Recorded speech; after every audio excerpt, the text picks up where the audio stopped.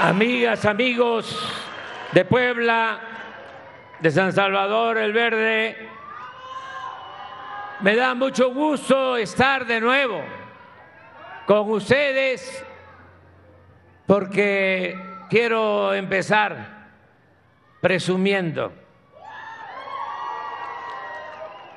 tirando aceite.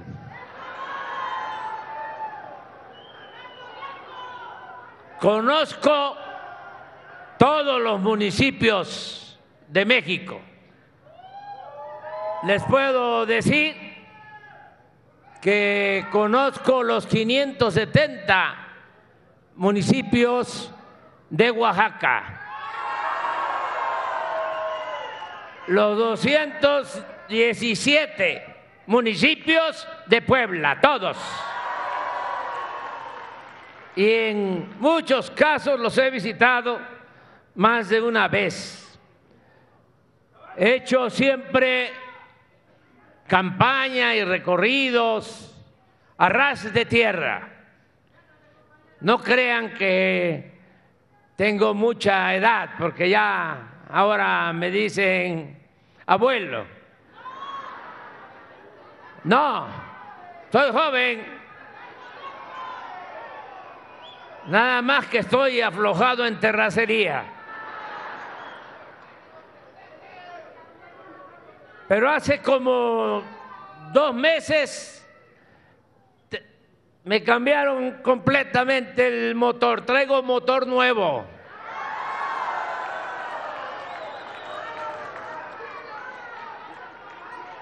La carrocería un poco maltratada, pero el motor nuevo. ¿Y por qué traigo?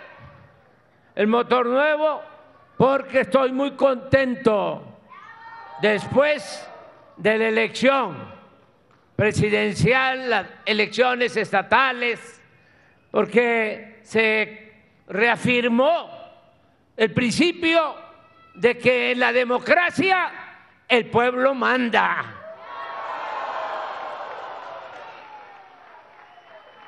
Esto fue un ejemplo y ojalá y lo internalicen, lo asimilen nuestros adversarios, porque no le va a ir bien a nadie si no se hace un análisis, una reflexión, una autocrítica. La política es asunto de todos no es asunto de minorías, no es asunto de una élite, ya que se quiten de la cabeza de que el pueblo no existe y que lo pueden manipular y que solamente lo van a ver a las comunidades, a los ejidos, a los pueblos, a las colonias cuando necesitan el voto. Y entonces, en las vísperas de las elecciones, como era antes, repartían migajas, despensas, frijol con gorgojo, pollos, patos, chivos, borregos, puercos, cochinos, marranos. Eso era antes. Y una vez que obtenían el voto, ya se sentaban, se olvidaban, no les volvían a ver ni el pelo en las comunidades. Eso ya se acabó, que vayan aprendiendo, tengan para que aprendan.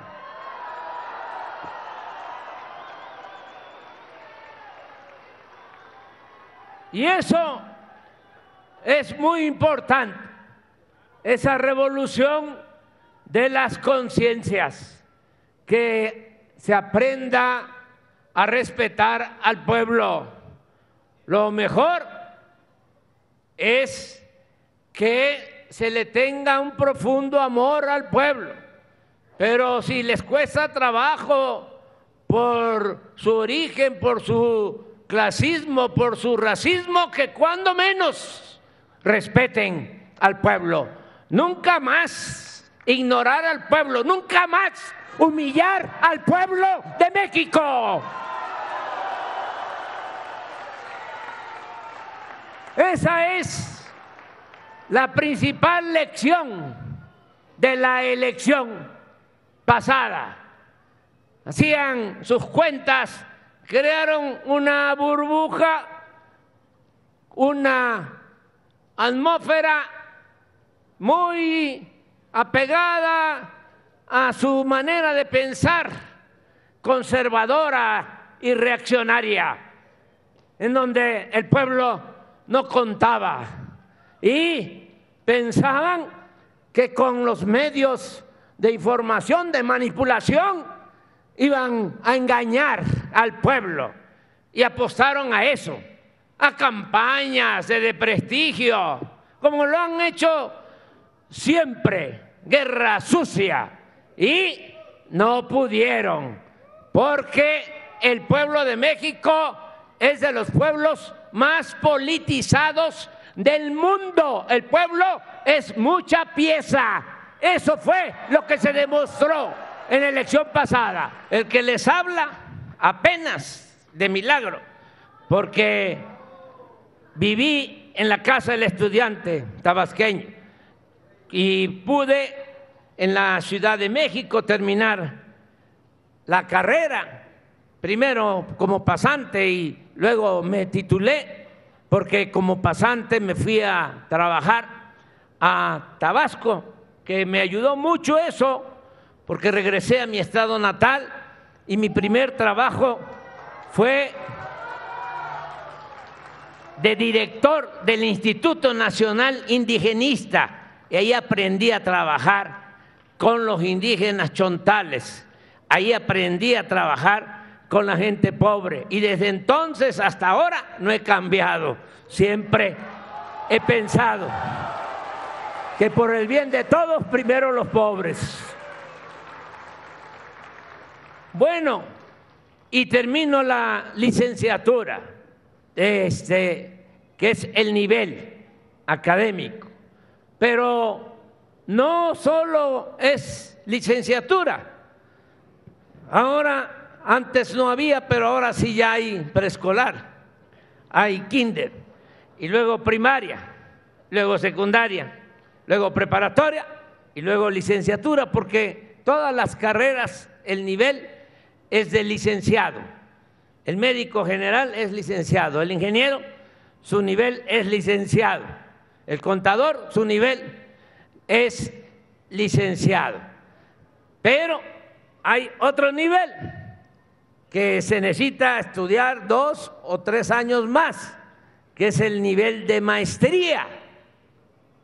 Y luego hay otro nivel, el más alto, que hay que estudiar dos o tres años más, que es el nivel de doctorado. Pues, ¿qué creen? Que la próxima presidenta de México es doctora en ingeniería, lo más alto que puede haber.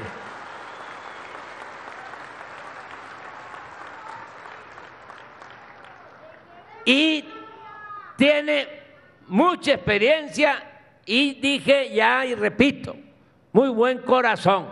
Por eso me voy contento.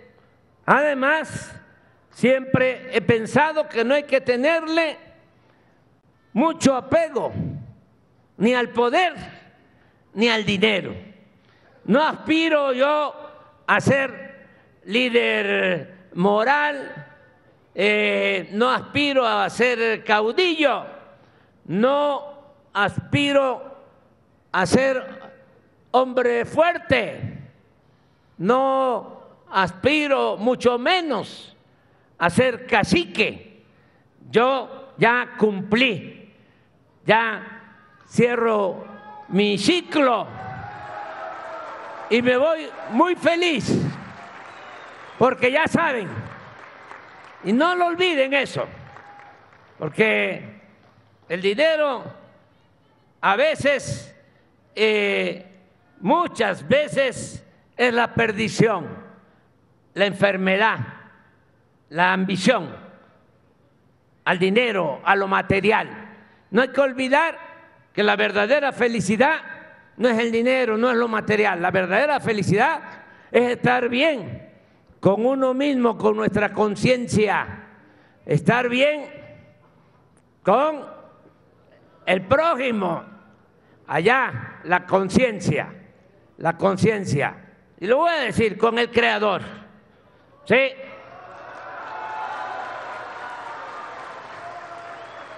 Y estar bien con el prójimo. Esa es la verdadera felicidad. Por eso me voy a ir muy contento y yo realmente les felicito porque ustedes, si hablamos de niveles académicos, ustedes ya tienen postdoctorado, ya. Tenemos por eso que seguir impulsando el campo para que ya no vuelva esa situación. Ahora estamos apoyando, como aquí se ha dicho, con varios programas para el fomento al campo. Me da mucho gusto poder decir que estamos entregando de manera gratuita los fertilizantes a todos los pequeños y medianos agricultores de México, a todos. Y ese es un programa que, como aquí lo acaba de decir nuestra presidenta, va a continuar para que dos millones de campesinos, productores agrícolas reciban de manera gratuita sus fertilizantes. Y se puede resumir en una frase, que coman los que nos dan de comer. Así.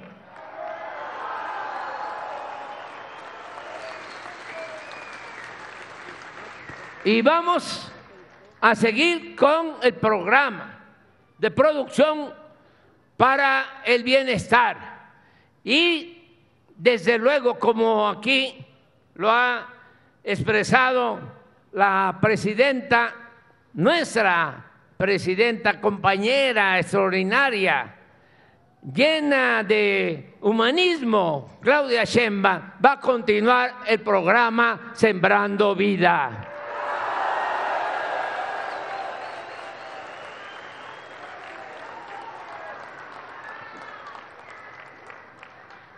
Me da por eso mucho gusto cuando les digo que traigo motor nuevo, es porque estoy contento y quiero compartir con ustedes mi alegría.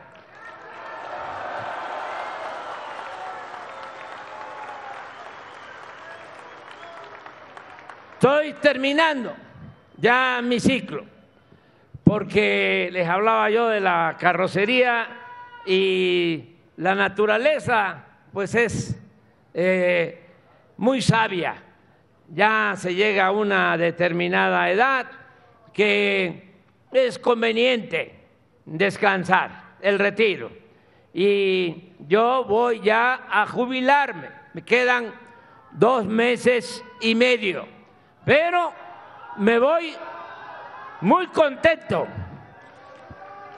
Puedo decir que cumplimos con nuestra responsabilidad, que logramos sentar las bases de la transformación, que como dije, estoy muy satisfecho porque voy a entregar la banda presidencial a una mujer con mucha experiencia muy preparada. No lo digo eh, como si fuese cualquier cosa. Miren, eh, Claudia tiene eh, dos cuestiones. Es preparada y al mismo tiempo tiene buenos sentimientos. porque no es nada más la educación lo que se necesita. Se necesita la educación y tener buen corazón. Y no hay que dejar de trabajar en el programa Sembrando Vida. La verdad es que yo tenía, pues es que había eh, pues ciertas dudas en algunos casos. Eh, decía, bueno, puede llegar alguien de nuestro movimiento. En la democracia es el pueblo que manda y puede llegar alguien de nuestro movimiento, pero puede decir, va a continuar adulto mayor, va a continuar el programa de pensión para personas con discapacidad, pero quién sabe sembrando vida. Yo les decía en las reuniones, apúrense a sembrar, apúrense a sembrar porque este, ustedes saben, eh, si es un cedro, lleva como 20 años, si es una caoba, como 30, si es café o es cacao, cuatro. Si son cítricos, cuatro. Entonces apúrense porque ya va a terminar el sexenio y no sabemos si va a seguir, va a continuar la ayuda. También lo hacía yo para que este, se apuraran, porque como decíamos antes,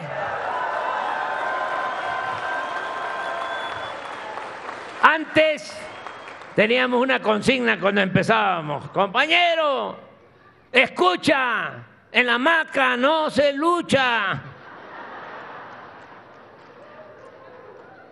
Entonces, siempre tenía yo esa preocupación, ¿qué va a pasar con Sembrando Vida? Y me imaginaba, si siembran y ya están grandes los árboles, ya no le van a echar machete ni hacha ya lo van a cuidar y va a seguir el árbol y ese es el futuro para la familia, pensando en los hijos, pensando en los nietos, en los que vienen detrás de nosotros. Pero fíjense, fue una bendición. Resulta que la gente dice que siga la transformación y ahora la presidenta ha decidido que va a continuar el programa Sembrando Vida. Ya.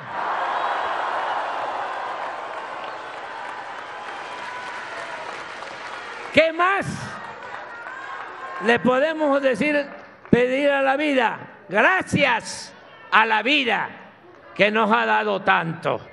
Gracias al pueblo de México.